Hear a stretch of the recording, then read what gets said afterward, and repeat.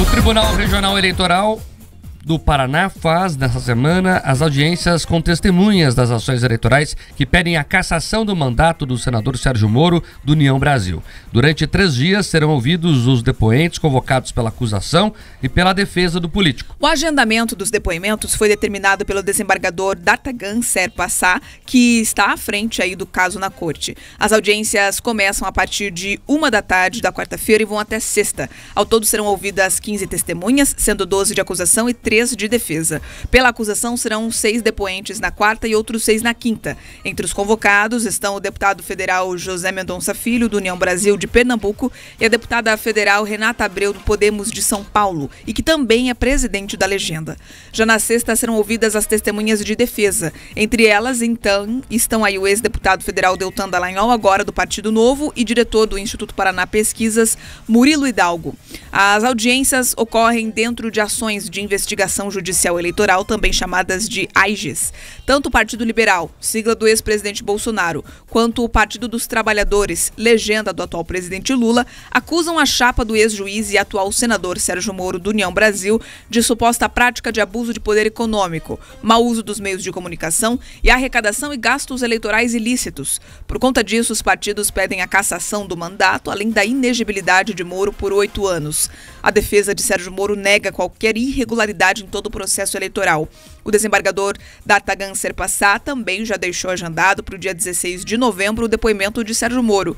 A princípio, ele deve ser ouvido por meio de videoconferência, mas caso o político preferir, poderá comparecer pessoalmente ao Tribunal Regional Eleitoral do Paraná. Além de Sérgio Moro, também foram convocados para depor na mesma data os suplentes Luiz Felipe Cunha e também Ricardo Augusto Guerra. Esse julgamento é importantíssimo para começar a se ter um fim nesse terceiro turno, que não acaba nunca em relação às eleições do Senado aqui no Paraná. Importante ter um desfecho final até para que cada parte siga o seu destino de maneira que entender mais correta. Né? Já houve análises no meio político de que Sérgio Moro estava totalmente fora, que era questão de tempo, era só oficializar ali a questão judiciária. Agora já há ah, entendimentos que não é bem assim, que o momento do judiciário já é outro. Né? Você tem um novo presidente no STF, você tem uma nova correlação de forças entre o Congresso e o Judiciário. Veja só toda hora, né, o Pacheco trocando farpas com o Gilmar Mendes. Como seria, como seria o Supremo é, ou o TSE que a última análise é composta pelo Supremo, né, caçando um senador, qual seria a reação de Pacheco? Seria tão dócil quanto foi a de Lira na questão Deltan Dallagnol? Então, os elementos novos estão aparecendo é, e é difícil cravar o que irá ocorrer. Até porque é uma questão, isso mais nada jurídica.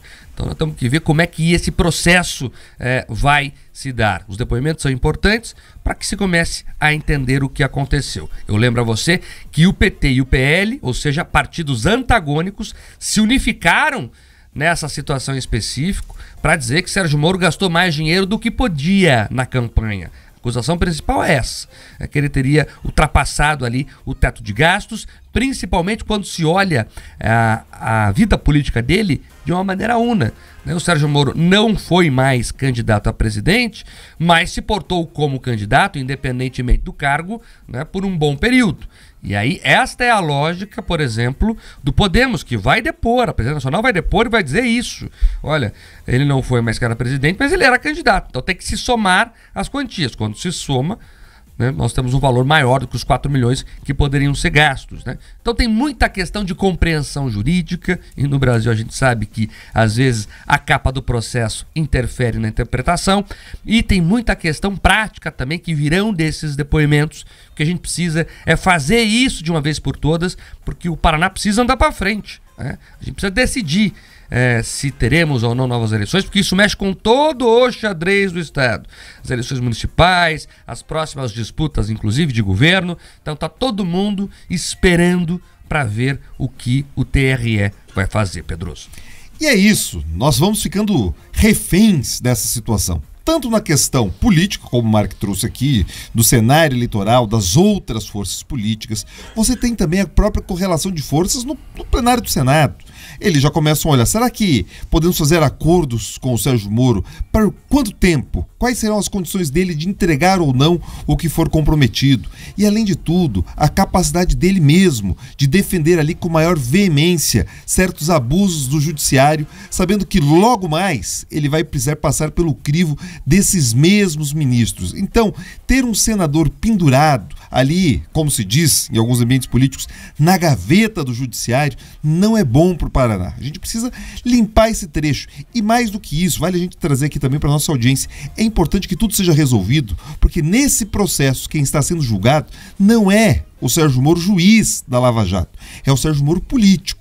Diferente daquelas correições, daquela análise do CNJ que olha todo o processo da Lava Jato, tenta encontrar ali qualquer problema, nesse caso é a conduta política, quais as alianças que ele optou, quais foram os profissionais que ele trouxe para sua campanha, quem ele escolheu para de fato cuidar da sua prestação de contas, enfim, os grandes estrategistas, nesse sentido, parte de tudo isso e as irregularidades possíveis ou não que foram cometidas é que estarão, estarão ali sobre o escrutínio da população. Então, para liberar a biografia ou para consolidar eventualmente uma mácula, esse processo precisa sim ser concluído, Mark.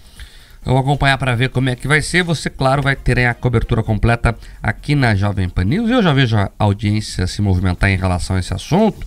E aí tem o boato no mundo político que a Michele Bolsonaro poderia disputar possivelmente uma eleição suplementar no Paraná caso Moro seja caçado. Né? Se é verdade, a gente não sabe, porque ela não fala oficialmente sobre isso, mas vários colunistas nacionais estão dizendo que a família Bolsonaro pensou nesta é, possibilidade. Lá atrás, Pedroso, gente lembra, que até falou disso aqui, existia o boato que o próprio Bolsonaro poderia disputar, né, antes de ficar inelegível, aqui as eleições do Paraná, que é um reduto dele, ele teria ali certa tranquilidade, de acordo com alguns colunistas nacionais.